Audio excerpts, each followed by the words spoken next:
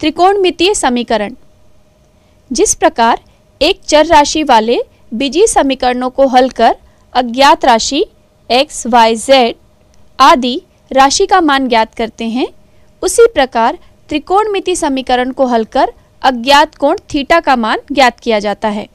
इस भाग में हम उन त्रिकोणमिति समीकरणों का अध्ययन करेंगे जिनमें चर यानी कि अज्ञात कोण थीटा का मान ज़ीरो डिग्री और 90 डिग्री के मध्य हो। उदाहरण नौ। समीकरण two sine theta minus one equal to zero को हल कीजिए। यदि zero degree is less than equal to theta degree is less than equal to 90 degree.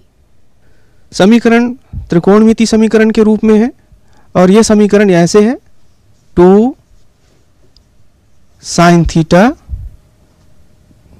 minus one is equal to zero एक समीकरण है और इसको हल करना है। हल करने का अर्थ है इसमें जो भी अज्ञात राशि हो, अचर, चर के रूप में जो राशि होगी, जो अज्ञात होगी, वो ज्ञात करना। तो यहाँ पर एक कोण थीटा है, ये अज्ञात है और इसको हमको ज्ञात करना है। लेकिन इसकी शर्त दी गई है प्रश्न में कि जब हम थीटा का मान ज्ञात करेंगे तो इस थीटा का मान शून्य अंश और नब्बे अंश के बीच में होना चाहिए।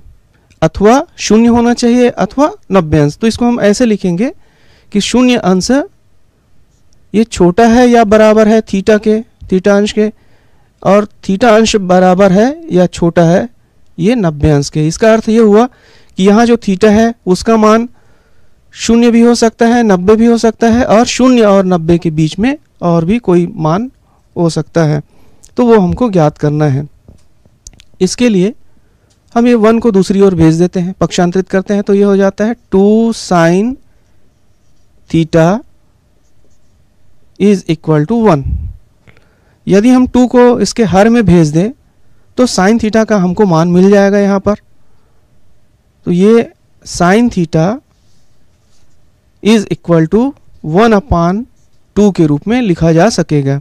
अब हमको ये सोचना है कि इस तरफ़ तो साइन थीटा दिया हुआ है, हमको यह सोचना है कि क्या हम साइन में किसी, कितने अंश का मान है जो एक बटा दो के बराबर होता है, ये जानते हैं?